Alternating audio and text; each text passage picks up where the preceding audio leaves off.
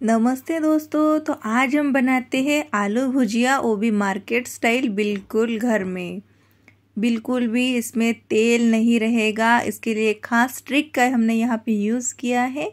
इतनी कुरकुरी है कि आप मार्केट से लाना भूल ही जाएँगे। आलू का परफेक्ट फ्लेवर इसमें आएगा। सभी चीज़ें हमने परफेक्ट मेज़रमेंट से ली है और इसे बनाया है तब ये अच्छे से बन गया। तो आप भी वीडियो को पूरा देखिए और इसी तरह से आलू भुजिया घर पर ही बनाए। तो चलिए सबसे पहले देखते हैं आलू को कैसे उबाले। क्योंकि अगर आपने आलू को, को सीधे पानी में डालकर उबाला तो ज़्यादा पानी सोख करेंगे और आलू में पानी ज़्यादा हो गया तो ज़्यादा बेसन लगेगा।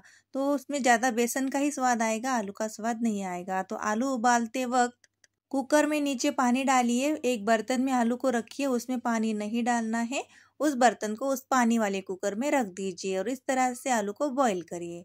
आलू बॉईल होने के बाद उसको ठंडा होने दीजिए और ठंडे होने के बाद उसको छोटी ग्रेटर से ग्रेट करना है। देख सकते हैं, बिल्कुल छोटा वाला ग्रेटर का यूज़ करना है, जिससे हम अदरक को ग्रेट करते हैं ना, चाय में डालने के लिए। बस, उसी से ही। क्योंकि इसके हमें बहुत ही महीन लच्छे चाहिए, बहुत ही महीन चाहिए। इसके हाथ से बिल्कुल ना करिए, क्योंकि अगर इसमें से कोई गुठड़े रहेगी तो अच्छे से आलू भुजिया नहीं बन पाएँगे, क्योंकि वो बहुत ही बारीक वाली चन्नी से हम इसको बनाएँगे। तो छोटी छोटी बातें हैं, इस बात का आप ध्यान दीजिए। मैं आपको डिटेल में रेसिपी दे रही हूँ तो आप पूरा देख लीजिए और आप भी मार्केट स्टाइल आलू भुजिया घर पर ही बनाएँगे। तो यहाँ पे हमने दो आलू का यूज़ किया है। अगर बड़ा आलू है, बहुत ही बड़ा तो एक ही ले लीजिएगा, या फिर आपने कितनी क्वांटिटी में आलू भुजिया बना रहे हैं, उस हिसाब से ले लीजिएगा।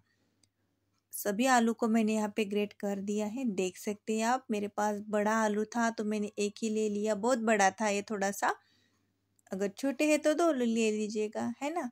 और इसको सिर्फ़ पानी में जैसे मैंने उबालने का तरीका बताया, उस तरह से उबालिएगा और इसको बारीक वाली ग्रेटर से ग्रेट करना है। बस इतना काम हमें सबसे पहले करना है।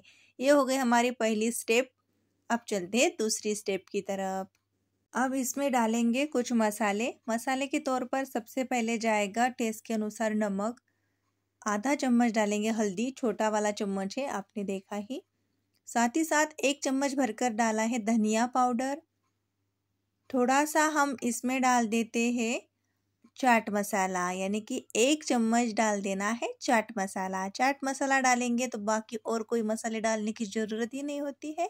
अगर आप चाट मसाला नहीं डालना चाहते या फिर आपके पास नहीं है तो आमचूर का पाउडर डाल दीजिएगा। और यहाँ पे हम काली मिर्च का यूज़ कर रहे हैं तीखे के लिए।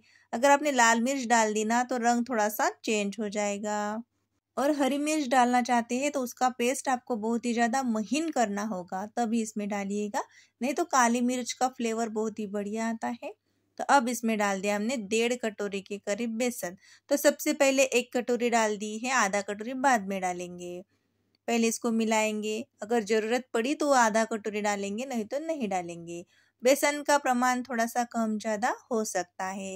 ये आलू पर भी निर्भर रहता है कोई कोई आलू में ज़्यादा पानी होता है, मॉइस्चर होता है तो उसमें थोड़ा सा बेसन ज़्यादा लग सकता है। है ना? और आपने आलू कैसे उबाले, इस पर भी वो निर्भर होता है।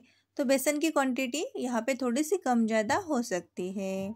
तो चलिए, बचा हुआ आधा कटोरी बेसन था, वो भी मुझे लगेगा तो मैं इस स्टेज पर उसे भी डाल रही हूँ।